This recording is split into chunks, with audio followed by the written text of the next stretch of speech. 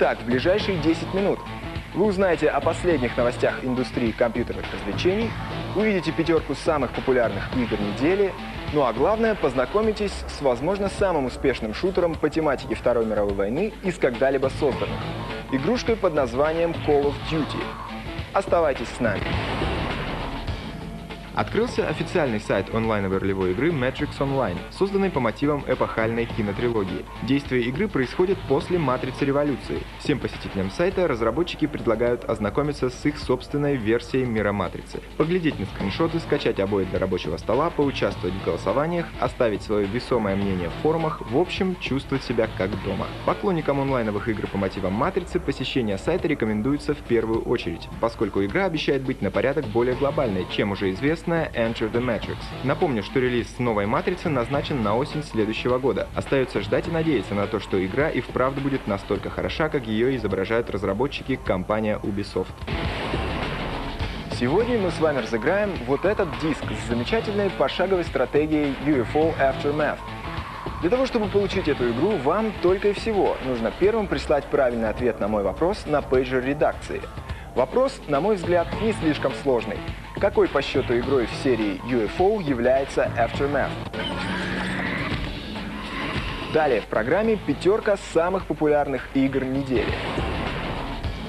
На пятом месте в рейтинге наиболее востребованных игр недели Judge Dredd vs. Death. Знаменитый судья Дред возвращается, и на сей раз он намеревается совершить правосудие над самой смертью. На мой взгляд, игра весьма недурна, и, пожалуй, это один из лучших шутеров уходящего года. Максимальная нагрузка на глаз, минимальная на мозг. Секрет успеха, как видите, прост и универсален. Итак, что же мы имеем в итоге? Отлично детализированные красочные уровни, великолепные визуальные эффекты, охота на зомби с помощью красивых пушек и некоего налета тактики, однако где же ваш сюжет, Дред?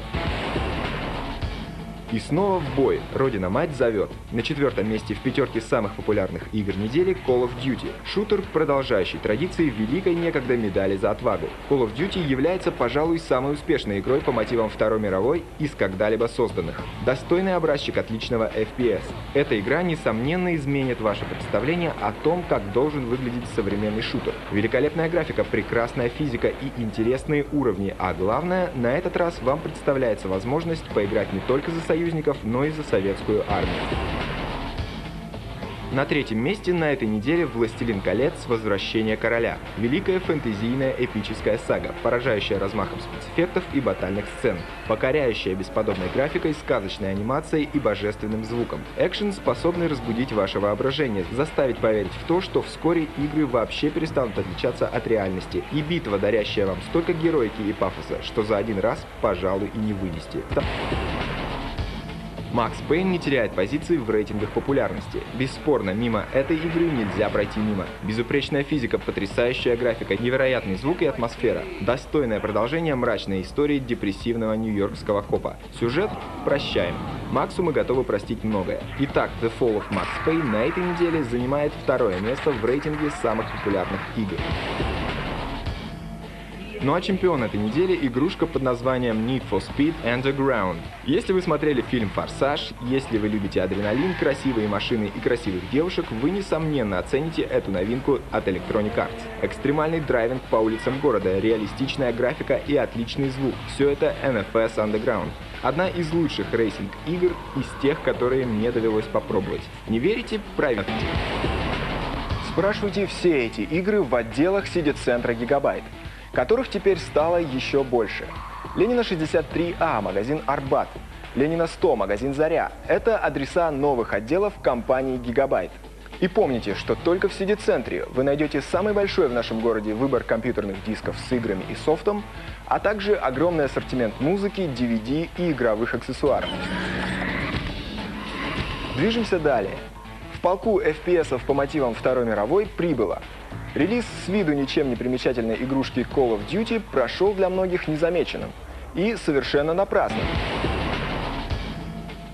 И что это за Call of Duty такое? Раздражались критикой игровые издания. Очередной клон медали за отвагу. А вот и не угадали. Call of Duty – один из самых зрелищных и захватывающих шутеров, вышедших за последние несколько лет. Да, вот так просто. Один из самых. Все попробовавшие игру пребывают в перманентном шоке, не забывая при этом заваливать разработчиков слезными письмами о продолжении. Сразу сделаю оговорку, во избежание недомолвок, недоразумений и попыток суицида. Call of Duty — это игра на один вечер. Точка. Но что это будет за вечер? Вы успеете побывать на Тирпице, поучаствовать в безумных гонках по горному серпантину, переправиться через Волгу в разрушенный Сталинград и самолично взять Рейхстаг.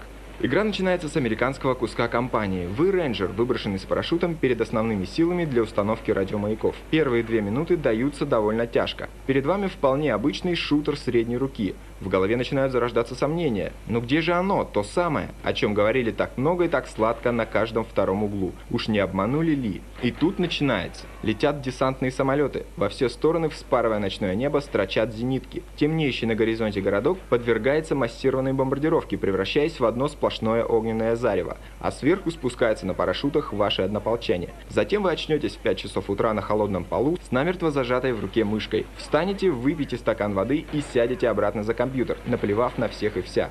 И только после полного и окончательного прохождения вы начнете вспоминать. Вы вспомните, как с удивлением рассматривали солдат, которые грамотно занимали оборону, вжимаясь в стены и осторожно заглядывая в дверные проемы. Будете долго и с упоением рассказывать, как вас оглушило взрывом и в первый раз швырнуло на землю, когда весь мир сразу потерял четкость, движения замедлились, а звуки куда-то уплыли. Как вы, одержимые горячкой сражения, бросались вместе с товарищами на вражеские танки, как ползли изо всех сил, прижимаясь к земле, и под пулями минировали вражеские укрепления. Бриллиант в короне Call of Duty – это, несомненно, русская компания. Такого еще не было нигде и никогда. Помните эффектный фильм «Враг у ворот»? Особенно сцену переправы через Волгу. Разработчики перенесли большую часть фильма в игру один к одному. Рвутся бомбы, все вокруг представляет из себя сплошные пылающие, сплошные пылающие развалины. Сверху гудят фашистские самолеты. А вокруг вас действительно напуганные молодые парни, которые, испуганно озираясь, всем своим видом выражают, что не понимают, как они попали в этот ад. Плюньте на компас, указывающий, куда бежать, и действительно станьте советским воином. Бегите в безнадежную атаку вместе с очередным отрядом, под проливным свинцовым дождем. Бегите на вражеские пулеметы, бегите в тщетной надежде выжить. Это просто неописуемо. Никакая высадка на Амаха-Бич в медали за отвагу даже рядом не стояла. Завершающая сцена игры, советские солдаты на крыше Рейхстага машут красным флагом, окидывая довольными взглядами покоренный Берлин. Единственная верная заключающая сцена для такой игры. Call of Duty – один из самых эффектных шутеров в истории человечества и одна из лучших игр 2003 года. Великолепно, замечательно, непередаваемо, дикий бешеный ритм и тонны адреналина. А что еще для счастья надо? Это была Геймзона на канале Экспресс. Увидимся, как всегда, в следующую среду в 18.45. Пока! Вы смотрите телевизор, слушаете музыку или работаете за компьютером и никак не можете оторваться. Знаем, вы побывали в Гигабайте. Широчайший ассортимент самых качественных видеофильмов, компакт-дисков, DVD, программного обеспечения и обучающих программ. Новые поступления каждую неделю.